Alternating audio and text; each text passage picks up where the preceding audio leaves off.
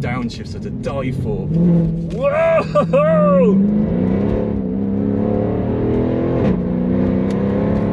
Hello everyone and welcome back. Today we're going to be doing a fuel economy challenge on my C63 AMG. Um, but you may be asking, didn't I already do this Nathan? And the answer is yes. Um, but on first inspection, yeah I did.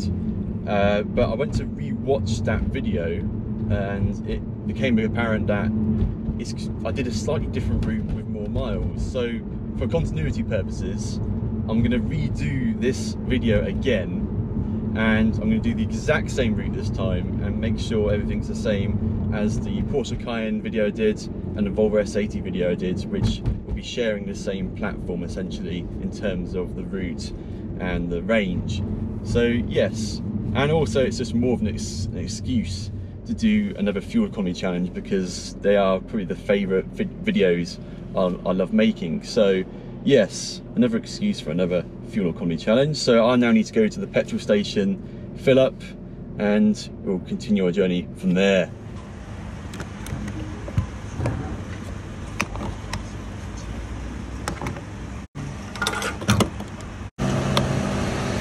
Okay, we are ready to embark our journey. I need to reset the computers then we can go from there.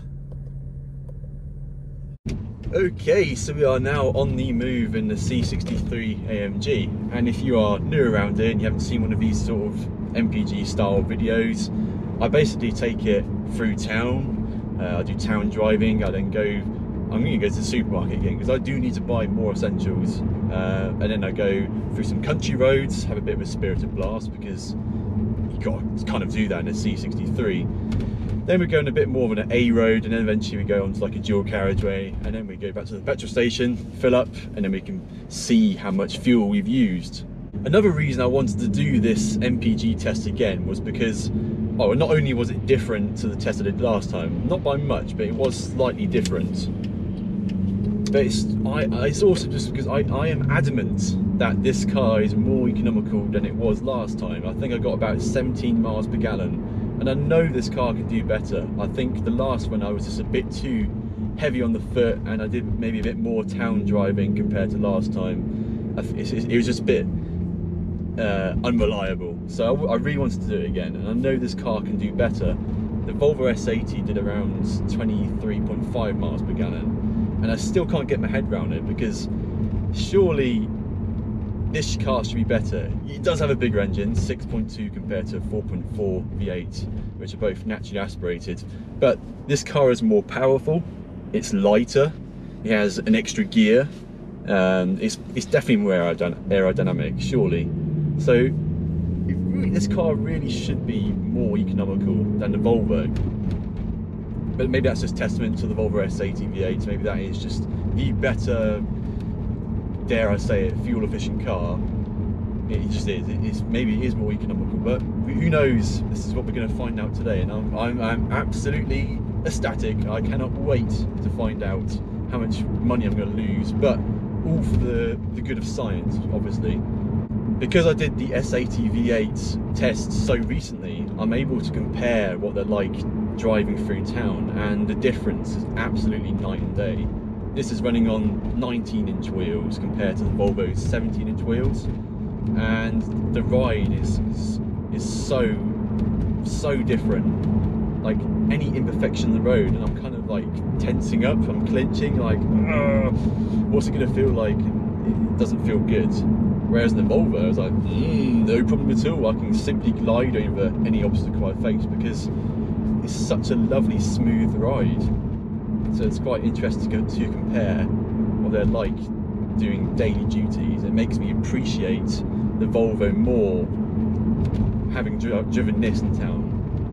But obviously they are built for different things. This is definitely not just meant to be cruising around town. It's meant to do more exciting stuff and more exuberant driving compared to the Volvo. So we'll touch up on that later on because we will be hitting some B roads and we can fully extract what this car is all about. But right now, I am now approaching my beloved supermarket and I should be able to park this a bit easier because it's, it's shorter and more narrow in dimensions and these spaces are quite Mm, not very generous, to say the least. But yeah, here we go. Yeah.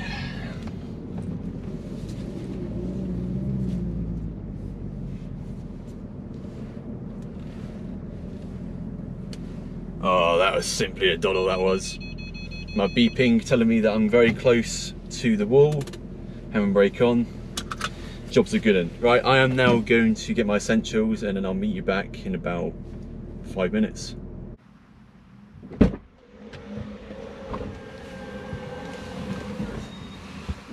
Yeah.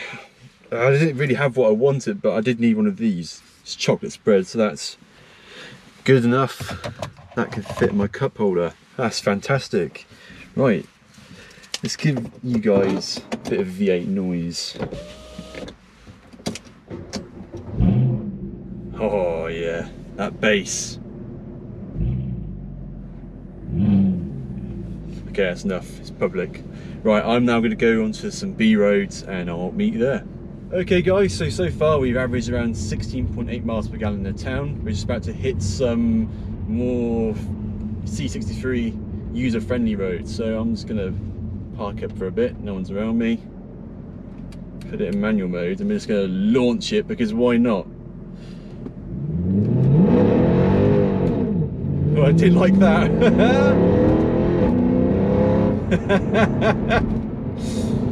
just absolute wheel spinning off the line in first and then eventually put it into second and then it started to gain traction that was hilarious. You really didn't like that, did it?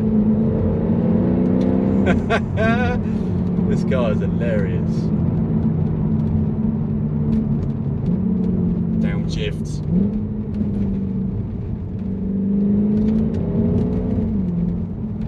Okay, we just caught up with a straggler, so I'm now just gonna put it in controlled efficiency mode for, for the time being. This particular road is absolutely dire, but I kind of need to use it to get to the route I'd normally use, and because there's a bit of a fun section later on. But, oh my god. These roads in particular though, they are just so unforgiving and so bumpy. And for a car like this with the 19 inch wheels and it was somewhat stiff suspension, really doesn't have a good time. And this is where you kind of the comparison comes back with the Volvo S80 because I was going down here and I was kind of just smiling. I was literally cruising along. I didn't have a care in the world. But right now, I am very paranoid I'm going to be hit something and it's going to absolutely buckle my alloy. Like this pole, for example, just narrowly missed that. If that was a Volvo, I would have happily just glide over it because I know no damage will be inflicted upon the car. With this, you just need to be very mindful because these multi-spoke 19 inch wheels are notoriously known for being made of cheese because they a lot of them just any like slight bump can like damage the alloy. So I have to be very very careful very mindful. Okay boring section complete. So it's now time to get on the move. Nice twisting section coming up.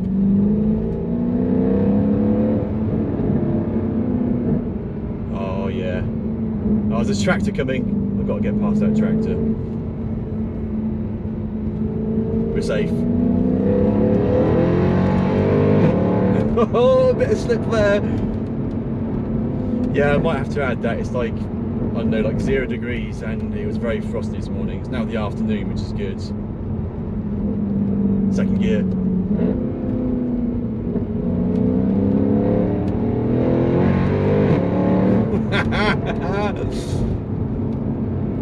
that Volvo sounds good, but it's got absolutely nothing in the way this sounds and how, it, how this delivers its power. This is so intoxicating. Second gear. Oh, the downshifts are to die for. Whoa!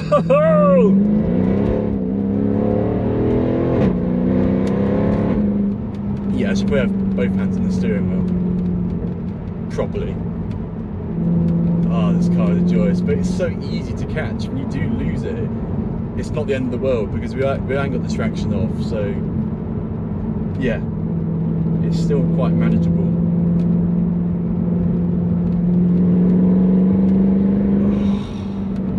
you can stick it in fourth gear fifth gear It doesn't matter what rev range you're in, but it always sounds unbelievable. Right, we're fourth gear right now, 2,000 revs at 40 miles per hour. Third gear, 3,000 revs. a bit more slip there, traction light going off like a Christmas tree. Second gear, three and a half thousand revs, approaching the junctions, so we need to be a bit more sensible.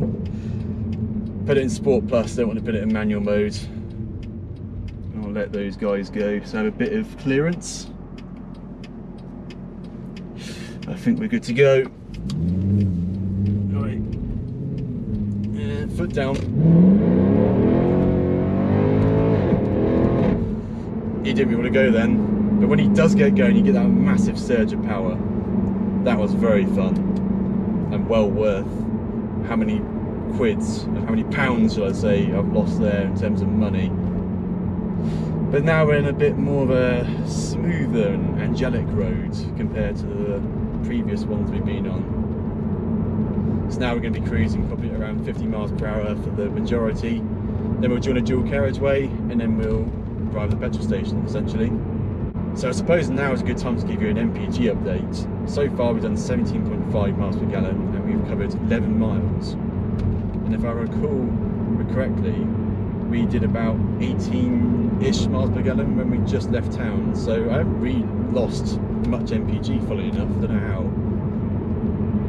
But we should be able to recuperate some of that MPG figures back, get maybe up to 20. That's wishful thinking, but I think we can do it. But yes, in general, when I was just driving through those twisty sections, you can really see the dynamic change in terms of what this car is really meant to be about compared to the Volvo. I know you shouldn't be comparing the cars because they're nothing alike. However, I do own both, so it's nice to give, relay some information to maybe some of you Volvo S80 V8 owners or C63 owners. That particular road of the road was really bumpy, was, was amazing in a Volvo, but terrible with this.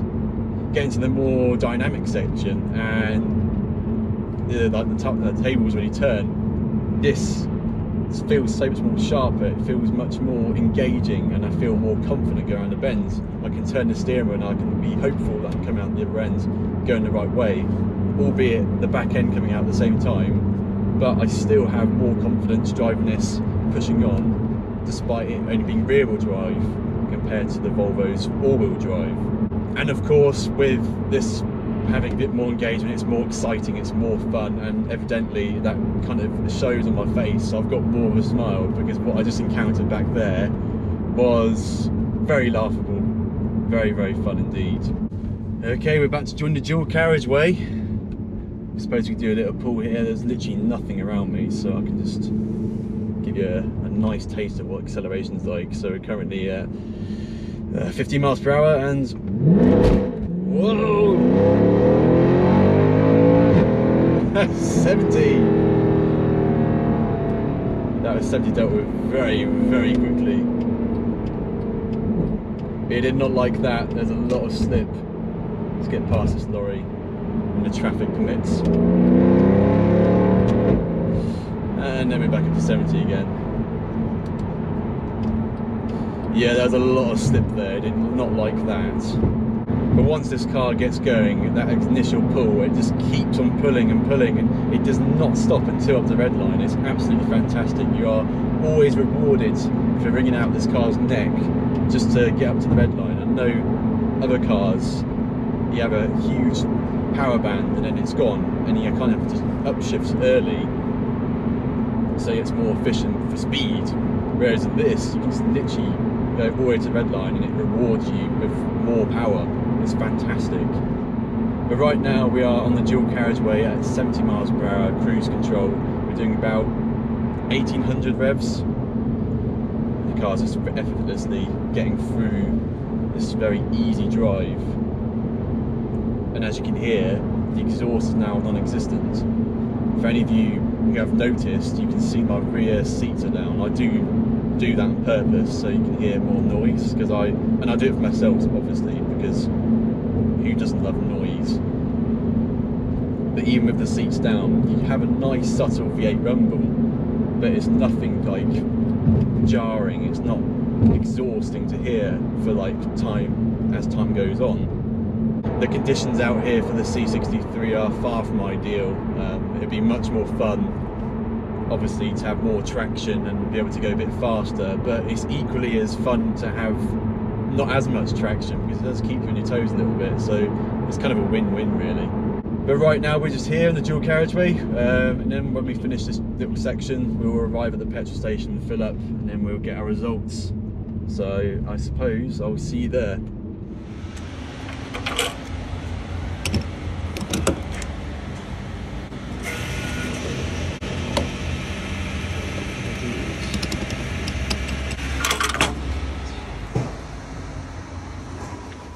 Okay, C63 journey is now complete. Uh, I used 5.09 litres of fuel. Uh, it cost me about £8.19 pence and the price of uh, fuel moment is like £1.60.9 for the 99 Momentum. And of course I covered 22.6 miles just like I did in the other videos. So now it is the case of using my favourite app or website, which is the MPG calculator. So now we have the calculator up. We need to put in the distance of 22.6 miles. And the litres of fuel used was 5.09. I need to verify that. Yep, that's correct.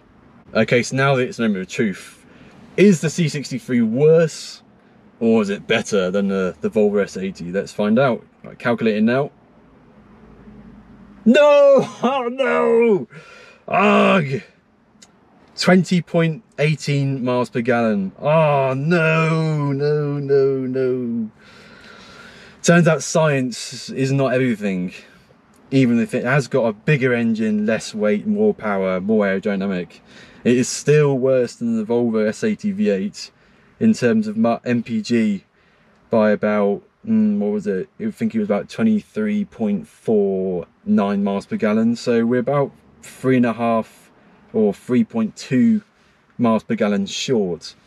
God, I was adamant. I was so sure this would be better. Maybe it just isn't. Maybe it just isn't. I don't know. I can't quite figure out how science works. Surely this would be better with the added power. The engine has to work less to keep it moving. And obviously that uses less fuel. I don't know. Any scientists who watch this video or anyone in that sort of field, let me know why is the C63 not more economical than the Volvo S80 V8? I don't understand. But regardless, I still think 20 point whatever miles per gallon it was is still quite admirable. I think that's still a good reading for a car that engine displacement as this, and I know this car can do much better in terms of miles per gallon. I've touched nearly 30 on a really long run, um, and I am very keen to try and break that barrier. I want to get over 30, and I, I know it's possible because in the C63 AMG Facebook UK group, there has been a couple of people who have obtained over 30, but they've had to drive fairly slow in a very long distance. But I'm up for the challenge. I really want to do that. I really want to see if I can break that barrier in this particular car because this is obviously mine.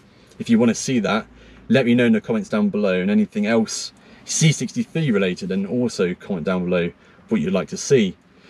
Anyway, I am now going to sulk and go home and probably absolutely nail this on the dual carriageway to kind of show my displeasure of how upset I am.